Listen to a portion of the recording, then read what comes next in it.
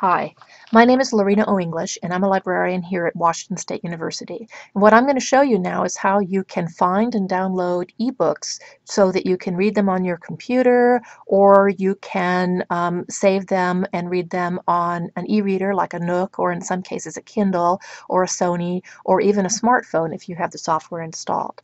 So let's go ahead and get started. I'm going to do a search for Atlantic, whoops, let's try that again, salmon and I get a bunch of results and I want to narrow them down to ebooks. Now we have a wide variety of ebooks so I'm focusing this class, this lecture, this screencast, particularly on ebooks that are available that can only be read using software called Adobe Digital Editions. And these are full books, usually from, as you can see in this case, major publishers. So let's go ahead and look at Atlantic Salmon Ecology. So I'm looking at it. And it looks like something that I would be interested in. So I'll look a little bit further and we've taught you for a long time that you should always look at Find It at WSU, but that's not the case here. I want to look a little bit further to this online access link, and this is what I want to do in the case of ebooks as opposed to journal articles. So I'm going to go ahead and click on this. And you can see in this case, this is an ebook that we get through the Orbis Cascade Alliance. That means we're sharing it with other libraries in Oregon, Washington, and also the University of Idaho. So let's go ahead and find us. I'm going to log in to Washington State University and click on Go. And now I have to log in with my network ID. So we'll do that. Once I've done that, here I have information about the book, and you can see I can look at the table of contents pretty quickly, and if I've looked at this before, I can look at bookmarks that I have saved, and you can see I've saved a couple right here. I've looked at this one before. When I logged in with my network ID, I also logged into this particular service. So you can see that I have a bookshelf where I might have books that I've saved, and I also have particular collections that I, that I might want to do. So I'm going to go back to where we were and look at our particular book. And I can add this to a collection, I can cite this, I can do various other things. But right now what I'm going to do is go ahead and click on Read Online and you can see it's loading. Now a lot of times there actually is no reason to download a book to an e-reader or smartphone or even an iPad because you'll find that reading it on screen is actually giving you a lot more functionality and affordances. It's pretty easy. You can see I can just kind of click the pages one by one and I'm able see it actually goes pretty fast there's a lot of blank pages here and I'm able to copy or print and I get an allowance of pages that I can copy or print um, every day and I can look something up in the dictionary and even read it out loud if I want. So I have a lot of options. And you can see a little bit of information there about my table of contents. I can uh, search this full text, which is very nice. I can look at notes that I've created. But in this case, just for the purpose of this video, I want to go ahead and download it. So you'll notice that it requires that I use something called Adobe Digital Editions. Let's take a look and see what this is about. If you don't have this already, this is a special program that you need to install on your desktop. And if you have a uh, e-reader or a smartphone or a tablet, you can also install this on those or use software that includes this. And I have a little bit more information about that on the LibGuide that you found this on. But what I need to do is I need to install this on my desktop computer. And in order to do that, I need to create an account. And once I've created an account, I can install, I can install up to 10 devices using the same account. So that could include my desktop computer, my smartphone, my e-reader, whatever I wanted it to do. So we're just going to go ahead and assume that we've already created our Adobe ID and we've installed Adobe Digital Edition. So we're going to go back to where we were. And you'll also see that I can choose my loan length. And this provider, EBL, this lets me either check out a book for one day or seven days. Now, if I get a book from this provider, if I check out, choose one of these two options, I can't change my mind. If I select seven days, but it turns out I only need it for three days, I'm actually unable to return it any earlier. Some of our other providers, such as eBrary, actually give us the ability to end our loan early so the book is made available for other people. Because once I've checked this out, no one else can check it out until I return it. So we're going to choose one day. Now we can download the book. And you can see I have two formats available, a PDF or an EPUB.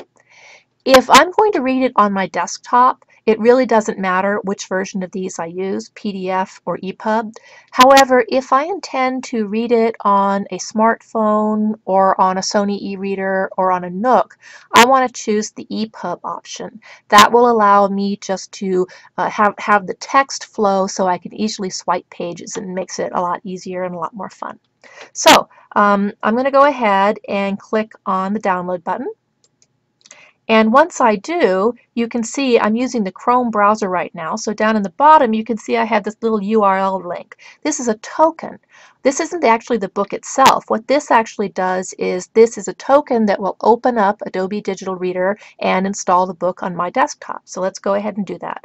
Uh, normally, if you weren't using the Chrome browser, this would save this on your desktop or your downloads folder or wherever files that you download from the internet are saved. We're just going to go ahead and double click it.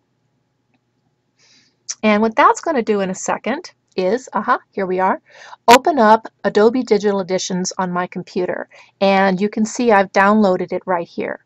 And if you are doing this for the first time, it went ahead and opened it. I'm going to go back over here to our library so we can take a look at this a little bit.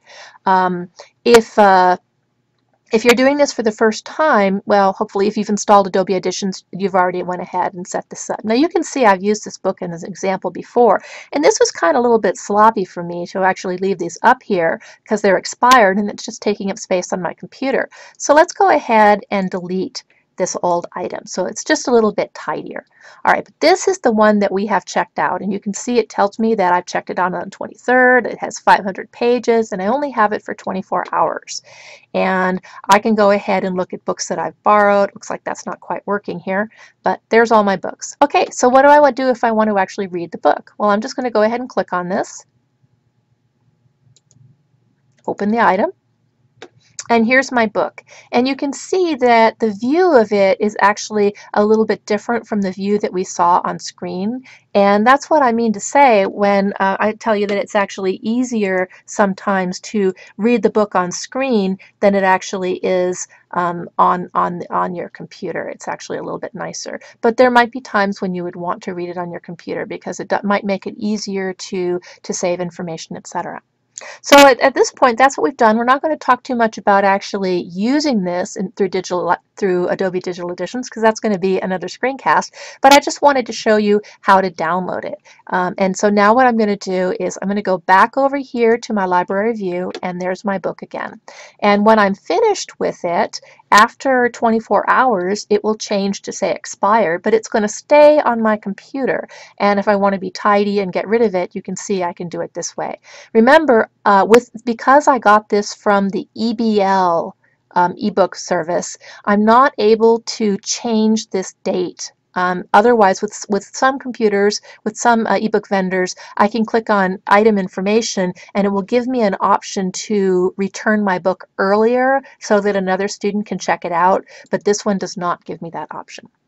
Okay, just want to remind you that um, this is how you can download ebooks and you have to have Adobe Digital Editions and in most cases you're going to find that Adobe Digital Editions is not available on WSU computers because you actually have to have an ID. It has to be linked to your particular ID in order to use it.